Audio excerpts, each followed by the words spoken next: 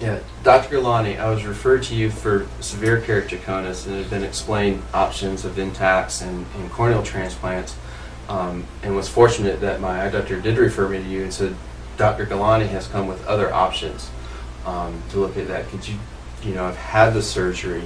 Um, it's fantastic. As a teacher, I have to go from looking at a small screen to a big screen. Um, I coach my daughter in softball. I can see the spin on her balls now. Um, so now that I've had the laser technique, which is non-traditional for keratoconus, I'm very happy with the results. Uh, could you tell me, you know, why was my case good for this? Why, why did you think this would be a great option? Because I'm very happy with it. As you know, Phil, with uh, all our patients, you included, I go through an extensive discussion before surgery in how to design a surgery that's best for you and uh, keeping your long-term safety in mind.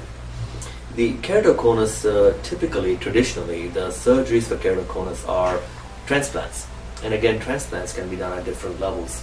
Uh, anterior lamellar, deep lamellar, penetrating keratoplasty, even artificial cornea transplants.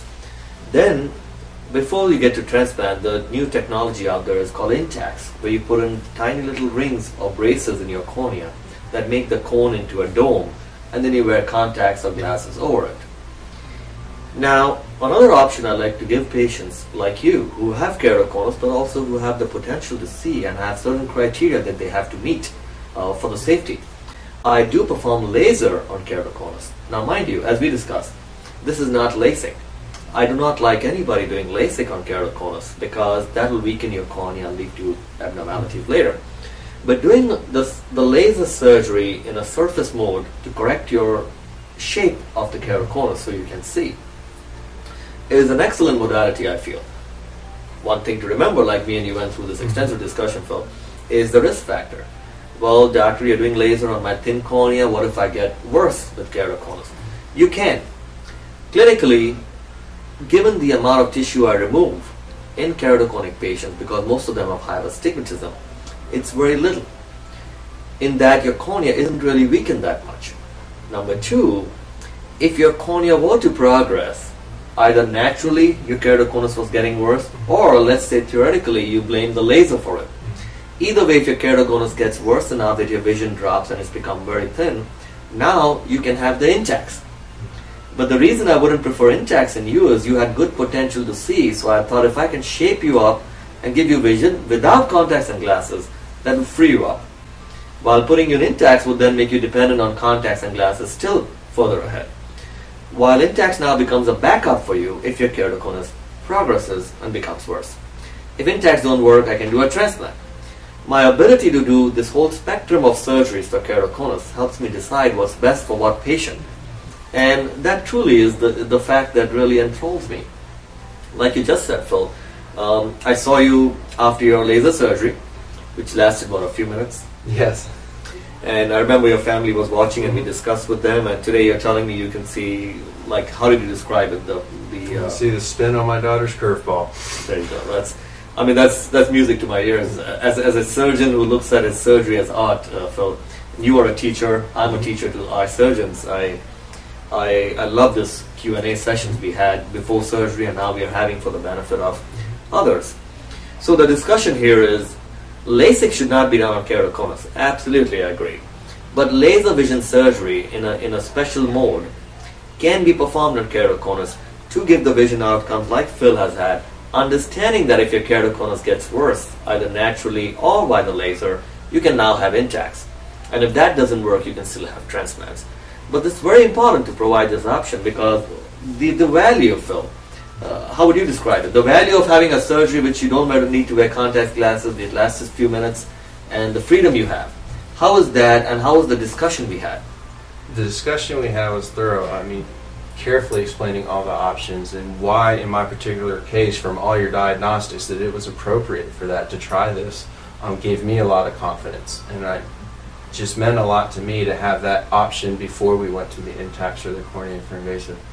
Uh, as far as afterwards, the freedom, as I said, I'm a teacher and I go from reading a child's paper or looking at their lab work up close to looking at a big presentation on the board and I don't have to play with glasses or I don't have to mess with contacts. I can see everything I need to see now. And then as a coach, and I mean, just for I love watching my kids play, but just for safety, I don't have to wear, you know, corrective vision. I don't have to wear a face mask.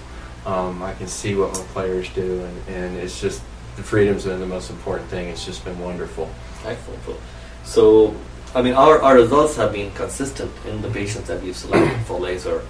But uh, it's really great, uh, this session that we are having today after your surgery, where from one teacher to another we are grilling each other again, like we did in the room, where I insisted that you understand everything before I give you this option. And, and it's important because, uh, you know, everything, like I say, vision is an art. It does not cookie cutter way of saying this patient or every keratoconus patient needs intacs and transplant. Wrong. There are so many ways of doing surgeries depending on how you present and looking at your kind of keratoconus, the kind of refractive error you have, the kind of vision I can get, given that your other eye was much better. And plus, uh, for the benefit of people watching, uh, when I do laser on keratoconus, I always do one eye at a time for both reasons. Again, safety as well as to know how well we have landed because your predictability is much low than a normal case of LASIK. So, um, Phil, thank you for this time and the grilling we've done. But anything you'd like to um, explain to people like you out there? Um, Of course, the thing that me and you keep saying: Mhm. do your research, do your research, question your surgeon till the cows come home. Uh, Mhm. insist on why they're offering you what they're offering you. Um, is that a safe technique for you? And if not, do they have a plan uh, as a backup plan for you? Because that's very important. Wouldn't you say, Phil? I, I just I would reiterate that um, my my comfort level to try this was that it was very thoroughly explained, and you even asked me to critique it and go elsewhere and and do my research and find out about this. And you were so thorough in explaining it to me in terms I could understand and my family could understand, presenting the backup options um, that would be there, and you know saying these these would be you know you could have this freedom um, if you were comfortable with, with doing this, and, and I was totally comfortable with it. Um, um, your staff here was great. My surgery day, um, I, I felt guilty about taking a day off. It was like this was it. Oh my goodness! my wife and I got a, a two days off for you know a very very easy procedure, painless, and um, I, I was just very happy that, that I was referred to you. Good luck there, and and and um, was able to have this down here. Um, I'm Again. very happy.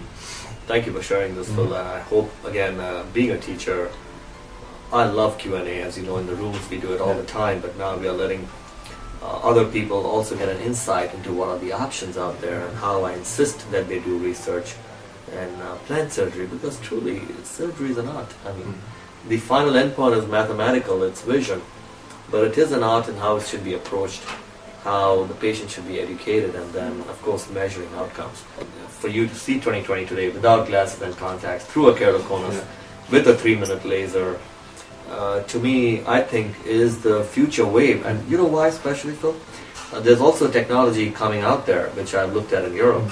It's called collagen cross linking. We had discussed this too which actually after doing laser, most likely after FDA approves it in the US, maybe we could even kind of cross-link the cornea, or in simple language, we could freeze the cornea uh, in that permanent position, so it Mhm. will not increase in keratoconus. Mhm. So this could be the future for many keratoconic people who live a life of uh, vision imprisonment, Yeah, that would that's a perfect term for, for what it felt like. right? Absolutely. Keratoconic patients I feel very badly for, but uh, because you have a broken leg, someone will open the door for you. No one knows a keratoconic patient can't see or looks through like a kaleidoscope, correct? Yes. How was your vision before, uh, Phil? Would you describe?